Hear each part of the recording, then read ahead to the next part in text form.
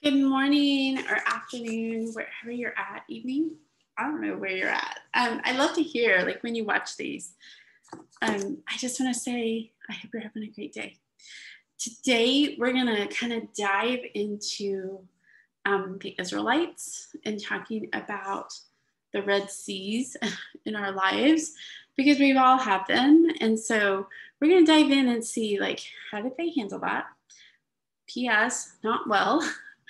And then how can we trust God in those moments where, man, it looks like the world is coming after us and that it, it's not looking too pretty? Not looking too pretty. So we're going to dive into that. If we haven't met, I'm Connie. I am a Christian. I love Jesus, love God. Um, love to see love to encourage women. Like that's one of the gifts that he's given me.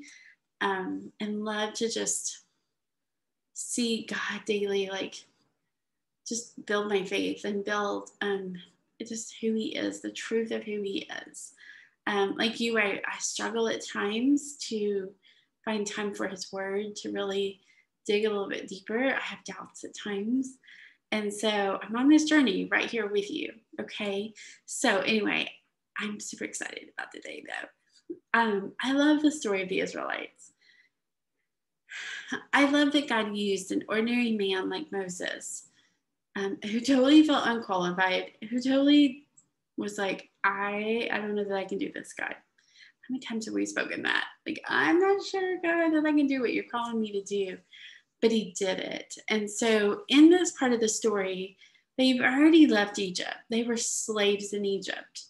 Okay, so they left, they have went this way, and they come across their first um, obstacle. Okay, it was maybe a little bit bigger than an obstacle. It was the Red Sea. Okay, and it, it's a sea, it goes into the ocean. The army is chasing them. Okay, so imagine the fear that you're running, you know that this is what God's spoken but then you get to water. Okay, now, I'm not a big fan of water. I just I don't love being in the water. So for me, that would have even been more terrifying and been like, um, God, what are we doing? And so I want to pick this up. This is Exodus 14 and um, verse 10, and we're going to read a little bit of this so you can kind of get the picture of them. When Pharaoh drew near, okay, so that was the those are the bad guys. The people of Israel lifted up their eyes, and behold, the Egyptians were marching after them, and they feared greatly. And the people of Israel cried out to the Lord, then said to Moses, Is it is it because there are no graves in Egypt that you have taken us away to die in the wilderness? What have you done to us in bringing us out of Egypt? Is not this what we said to you in Egypt? Leave us alone that we may serve the Egyptians. For it would have been better for us to serve the Egyptians than to die in the wilderness. And Moses said to the people, Fear not, stand firm, and see the salvation of the Lord, which he will work for you today. For the Egyptians whom you see today, you shall never see again. The Lord will fight for you. You only have to be still and silent. So at the end of the story, God ends up parting the Red Sea. But aren't we like these Israelites? Like God gives us this thing and says, okay, in this season, this is what I want you to do. And we go, yes, okay. We forget that there's going to be some battles on the backside of that, right? We're like, okay, march forward, just do it all. Like, yes. Um, and then the minute we run into a battle, the minute we run into an obstacle, we're crying out to God.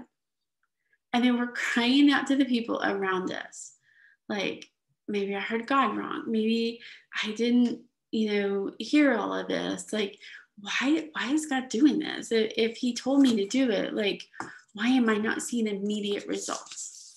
Like, that's who we are, right? Like, if we're real, not much has changed in all of these years, right? Like that was so far long ago. We haven't. changed really. And so I think there's some things here that I want to just dive into, okay? But I want you to be a little bit real with God today. Okay, I want you to write down this is question one. Where are some areas where you feel like God has called you out? Okay, He said, Connie, Sue, Rebecca, like, I want you to do XYZ. And man, you gung ho, like you went totally after it. And if you're just honest, like you, you're facing some obstacles with it. Okay, maybe he called you to start a business.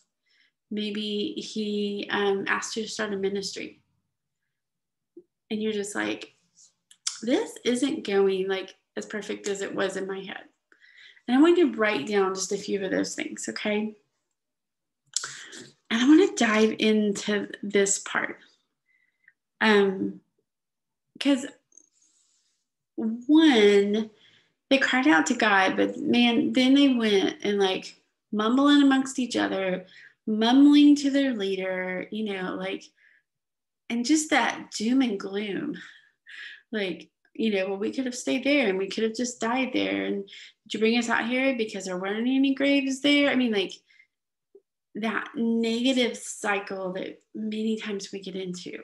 So I want you to just think for a minute, like when you look at those things that you feel like God has called you to do, maybe other things, do you ever get in that place where you just cycle and you kind of think like it's the negative, right?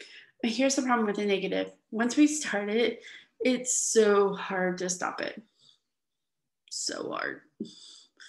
So hard.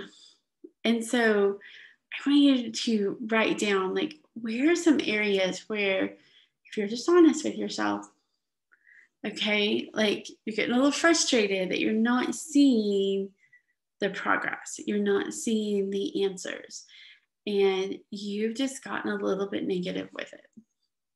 You complain about it a lot. Your friends and family, they're just kind of tired of hearing you complain a little bit about it.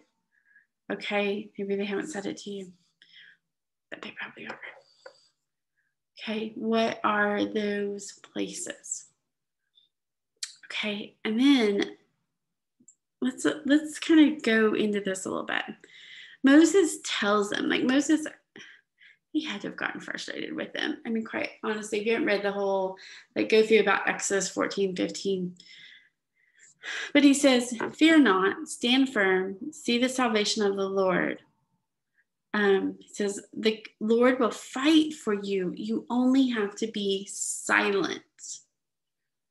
Stop your complaining. um, how many times do we just, are we not still?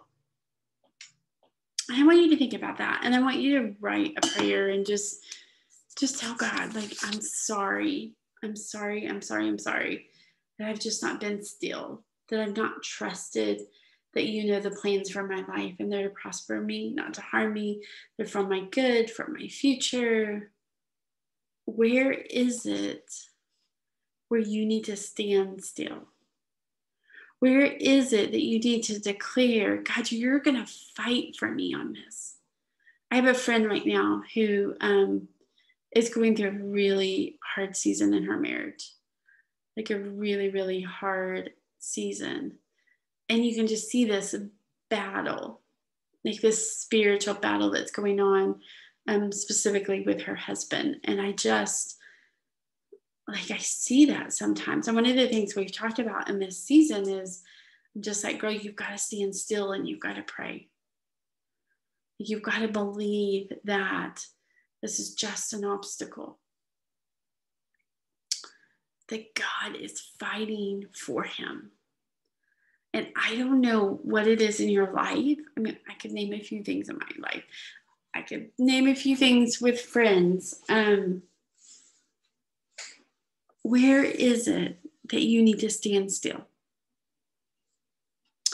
And I want you to just, and if you have to, palms up and say, God, here are the areas that I need you to fight for me.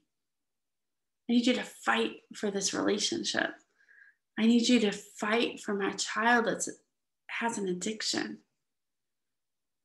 I need you to fight for my purpose and my calling.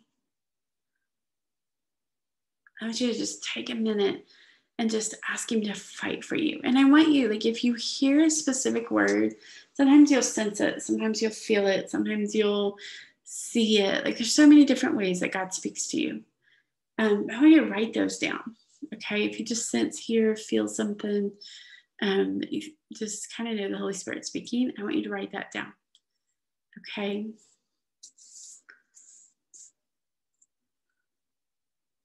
I want you to know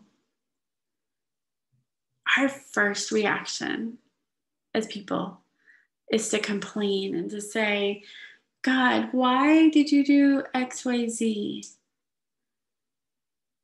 You guys, the Holy, the enemy wants nothing more than for us to give up.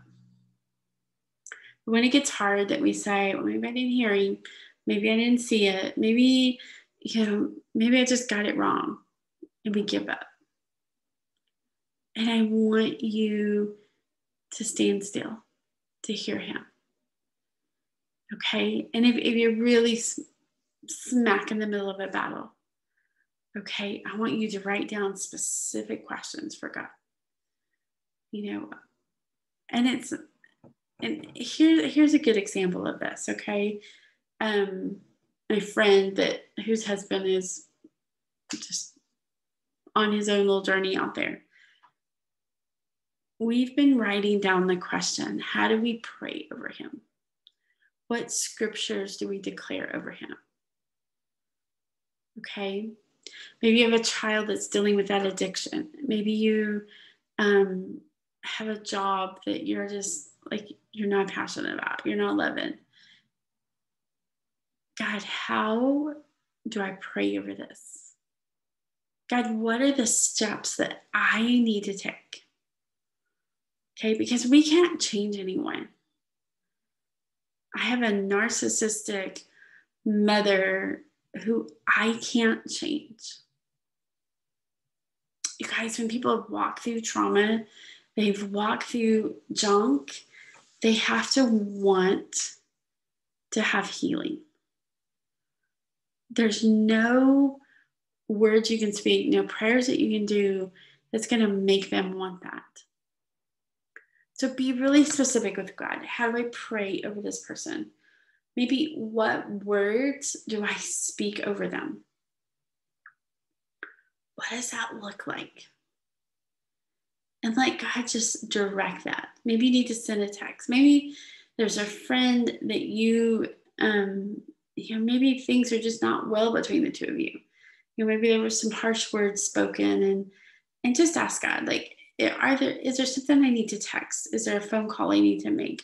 What are the steps that I need to take? Okay. Because again, we can't heal somebody, but we can work on us. Okay, so I want you to just be really clear on that. And again, you're going to hear it, sense it, feel it, however he talks to you. Maybe later on today when somebody sends you a message or a song comes on, um, God is always speaking. So just know that, okay? Um, and I'm going to pray over us today, okay? To kind of end this. And um, you guys, if you're not in the email, the journal prompts are in there. The um, I send you the video every single morning, so you don't have to like go dig it or hope that YouTube will send you a notification. It's all right there. Okay. So make sure you do that. I've got a, a freebie down in the bottom that you can pick up. It's awesome. Um, just scripture you can pray over yourself for the week. Um, I'm just going to pray over you right quick, if that's okay. God, we thank you that, um, God, that you show us that we're so much just like everybody else you know, that we have the same struggles, that that this is nothing new and it's not anything the enemy will whisper, you know, oh, it's just you, it's not just us. So God, we thank you that um, one, that you fight for us.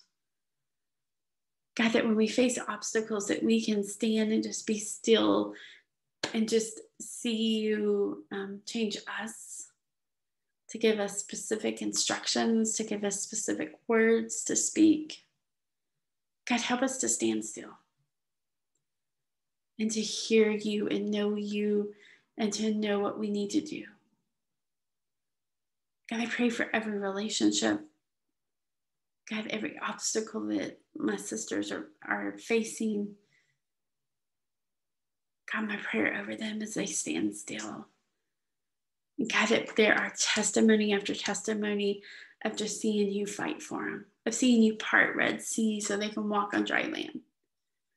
God, I praise you for what you're going to do. In your precious name, amen. My gosh, girl, I'm praying.